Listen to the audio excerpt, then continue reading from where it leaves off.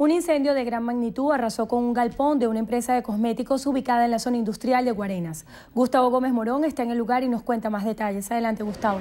Hola, buenas tardes. Aproximadamente a las 2 y 50 minutos de la madrugada comenzó el incendio que arrasó por completo los depósitos de la empresa de cosméticos ADE, ubicada en la zona industrial de Guarenas, aquí en el municipio Plaza. Un vigilante se dio cuenta del siniestro y avisó a las autoridades. Más de 100 funcionarios de los bomberos de Miranda y del Distrito Capital participaron en las labores para sofocar las llamas que consumieron tres pisos y aproximadamente 18 mil metros de construcción.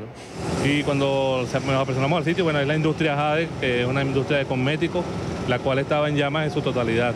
Eh, a producto de, esta, de este incendio, bueno, se afectó también la empresa Pres de Venezuela, eh, fabricante de utensilios de cocina, y bueno, ahorita estamos en la labor de extinción conjuntamente con los bomberos del Distrito Capital.